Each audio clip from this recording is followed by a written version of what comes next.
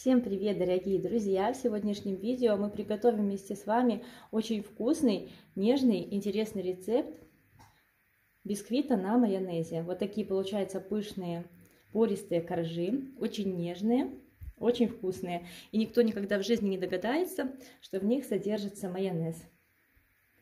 Давайте скорее готовить. Три яйца соединяю с сахаром.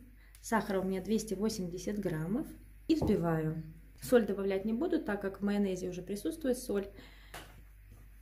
И она будет лишняя. Взбиваем 4-5 минут. Вот такая достаточно пышная масса получается. Добавляем сметану. 110 грамм у меня сметана 15% жирности. И майонез 150 граммов.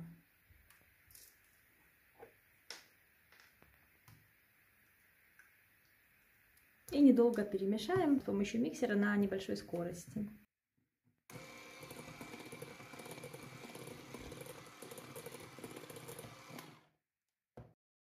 Берем муку, смешиваем ее с разрыхлителем для теста.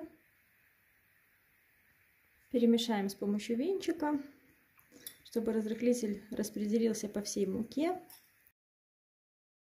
И добавляем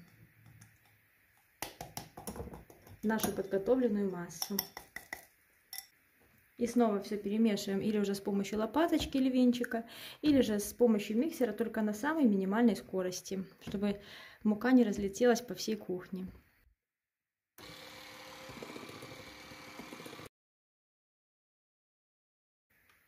Вот такое тесто должно получиться. Муки я использую 210 граммов, а разрыхлителя 5 граммов.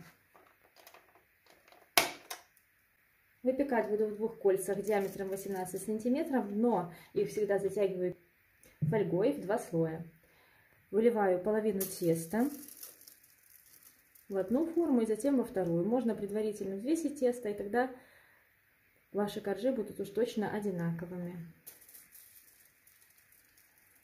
И отправляю в духовку разогретую до 170 градусов.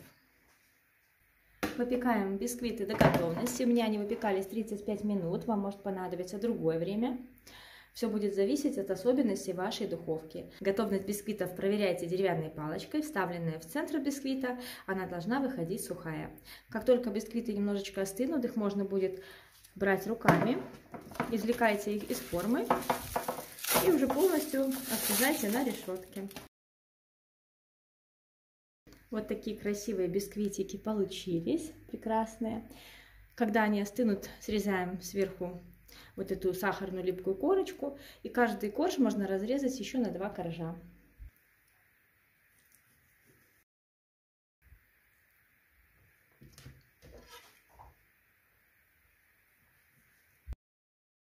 Этот бисквит отлично разрезается даже еще чуть-чуть тепленьким.